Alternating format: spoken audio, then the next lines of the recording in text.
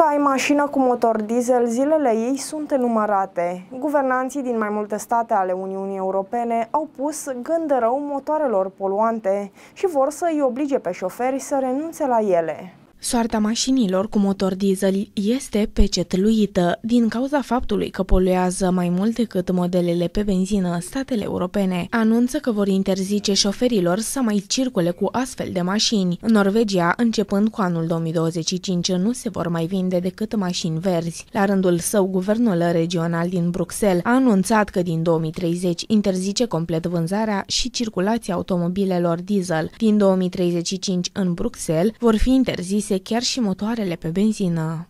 Ar fi bine, dar nu, sunt multe, sunt foarte multe mașini care circulă. Credeți că își permit românii să-și schimbe mașini? Nu, nu, sigur nu. Cu siguranță nu. Poluează, dar dacă ar fi mai drastici ăștia de la care verifică mașinile, s-ar întâmpla. Dar noi ne-am învățat să ținem ultimile troace ale Europei și sunt pe drumuri, că îți dă na. Și eu am tot diesel, dar caut cât de cât să o întrețin și să am grijă să nu poluez.